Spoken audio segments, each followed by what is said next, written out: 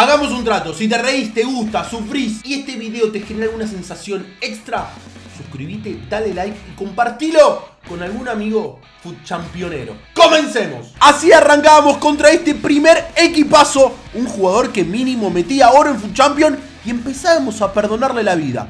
Primero con el coreano, después con Fernandinho, pero Canté, antes de que termine el partido, saca la tercera pierna y la clava en el ángulo. Segundo equipo, ya ícono. Lo teníamos ahí a Francisquito, Kikito, y miren cómo empezábamos. Pimba adentro. Pero miren acá, leímos jugada, buen pase, el Kun se la pica al arquero ante la salida y empatábamos lo que era uno a uno. El rival también ahí avisó y se venía el penal.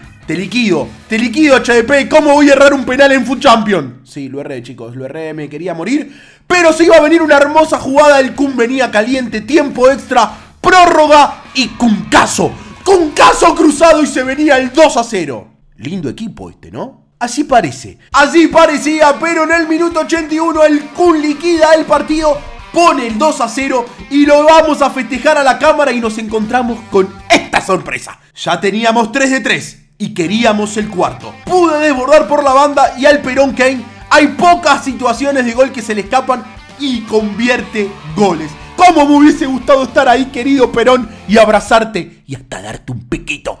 Linda jugada de Luquitas, otra vez dueño y amo de la banda. El Kun no perdona teníamos el 4 de 4 y los pantalones se nos empezaban a caer. La presión era enorme, el 5 a 0 no se nos podía escapar, iba a ser nuestro mejor comienzo. Primer jugada, Sonaldo se escapa por la banda, Sonaldazo junto al palo y teníamos el 1 a 0 parcial. El partido 1 a 1. El toqueteo modo on, 2 a 1 del Kun, minuto 19, minuto 24 metimos el 3 a 1 y en el minuto 60 nuestro capitán dice, ¡Toma! ¡Quiero el 5 a 1! Acá estaba el quinto partido, chicos.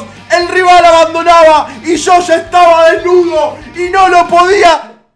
¡No me enfoque, que estoy en bolas, boludo! Eh, vamos a calmarnos un poquito, chicos. Sexto partido, dedos calientes, motivación a mil, confianza plena pero enfrenté a una de las mejores cartas del juego, este Hazard, un rival muy parejo, primer derrota, baile completamente ridículo de Hazard y sumé la primera derrota. El siguiente partido, el séptimo partido del Food Champion, enfrenté una plantilla brillante. Los Neymar no sé en qué momento de la vida los regalaron, pero a mí todavía no me lo dieron.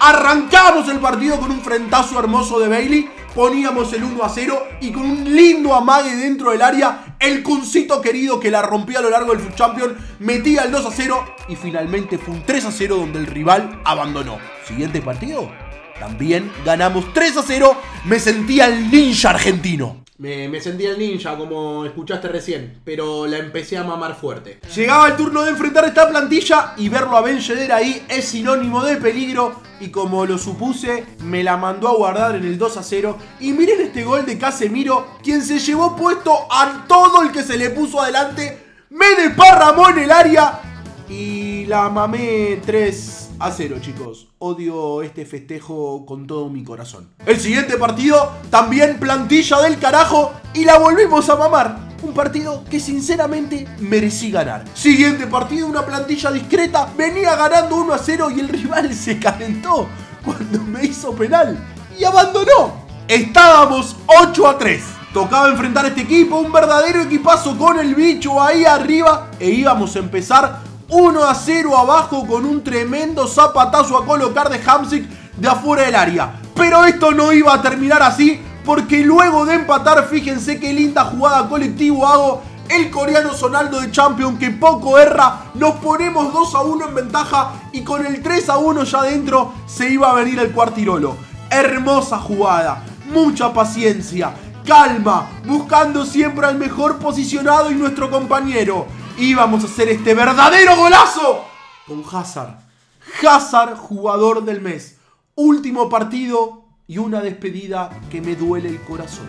Eden, pronto nos volveremos a ver. ¡Te lo prometo! Aparentemente la despedida de Hazard pegó fuerte en mis manos y en mi cabeza y con un partido que iba dominando y ganando 2 a 1 me mando este moco, chicos. Me mando este moco, el rival me desparrama dentro del área y Rodrigo me empata un partido que era parejo. El 3 a 2 no tardó en llegar. Rodrigo volvió a convertirlo y me metió este festejo que odio más que los anteriores. Y así fue como sumé una nueva derrota. Pero lo importante es revertir momentos adversos y enfrentábamos esta muy linda plantilla y rápido nos poníamos ya 2 a 0 arriba y con esta grandísima jugada poníamos el 3 a 0 lo que iba a sentenciar el partido, iba a obligar al rival a sentir que no iba a poder con este partido y tiró del cable. Así fue como prendimos Twitch, salimos a cancha con más de 300 y pico de personas viendo el directo y jugamos 4 partidos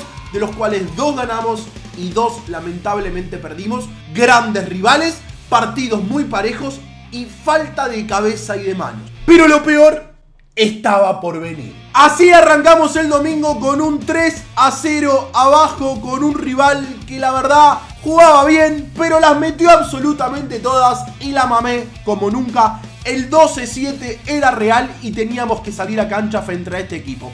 Ya empezaba a ver equipazos. Y no solamente equipazos, empezaba a hacer boludeces. Los dedos me temblaban, generaba pases erróneos, esos pases mal pifiados de mi parte generaban en goles y la calidad de los jugadores que uno enfrentaba empezaba a marcar la diferencia y me empecé a perder la cabeza literal. Un corner, gol de Barán, Suárez, Eriksen, Ramos, Neymar, Mbappé eran jugadores que no paraban de aparecer y mi equipo era muchísimo más humilde y laburador que todos estos equipos. Fíjense, minuto 80 y pico, logro empatar un partido muy complicado contra un rival parejo, pero que la diferencia de jugadores lo hacía y le facilitaba muchísimo más las situaciones de goles y lograba empatar el partido. Pero miren lo que va a suceder acá, el rival saca, empieza a dar pases, pim, pum, pam, un rival que juega muy bien, pero miren lo que hace Suárez, ¡ni la toca! Me rompe el arco. Me rompe el arco, chicos.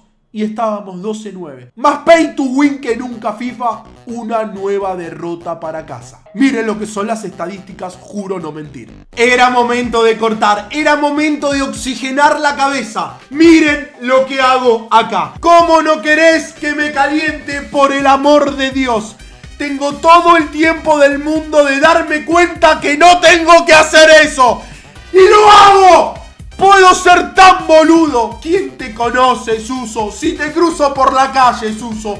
No te piden menos autógrafos que a mí, Suso. Miren lo que me hace, Suso. Me gambeté hasta mi mamá. Por favor. Era el 12-10. ¡No me enfoquen más! Estaba bastante caliente, pero por mi salud mental tomé un recreo. El recreo me hizo razonar un poquito mejor aunque el Food Champion ya estaba moralmente perdido, pero como siempre pasa en la vida, iba a aprender de estas lecciones. Íbamos a tomarlo como un aprendizaje y que sirva para futuro. Jugamos contra un gran equipo como vieron y con pelota al piso y dominada intentamos jugar siempre a base de toque y de esa forma tratar de asegurar los goles. En el 4 a 1 el rival clavó pausa y abandonó. Sumábamos nuestra victoria número 13 y estábamos nada más y nada menos que a uno del objetivo de Oro 3. Aún así, este partido frente a un gran equipo como vieron lo logré empatar en el minuto 85 con una linda jugada colectiva, pero mágicamente cuando el rival saca la desesperación por el kickoff comienza a apoderarse de mi cabeza, de mis manos, de mi ojete y de mi alma y nunca pude evitar lo que sabía que iba a ser con una gran jugada, pero fue gol y derrota 3 a 2. Moralmente muerto en tiempo extra, el 13-11 era real y salíamos a cancha. Arrancamos así. Ya la calentura estaba por demás en mi cabeza y se iban a ir todos los jugadores terminados de Food Champion.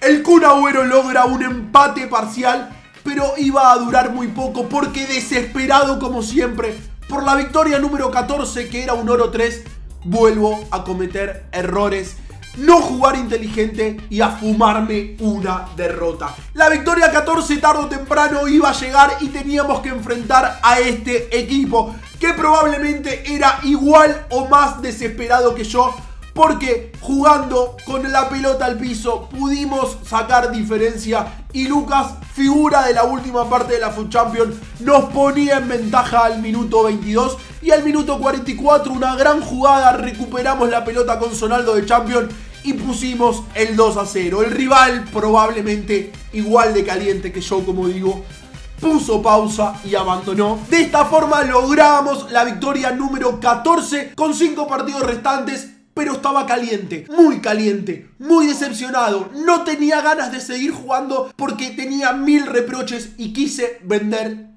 todo el fucking equipo. ¿Por qué? Porque con el bajón de Black Friday espero armarme un Dream Team e ir en busca del primer objetivo que es un oro 1. Obviamente el oro 2 no lo vamos a despreciar, pero jugando a otra cosa y habiendo aprendido de esta lección de mi segundo Food Champion. Amigos, espero que les haya gustado el video, lo disfruté mucho el fin de semana, me enojé mucho, pero este resumen de Food Champion lo quise hacer completamente diferente. Espero que les guste y espero que la hayan pasado lindo. Ya saben, like, suscribirse a morir y también síganme en Twitch que cada vez somos más.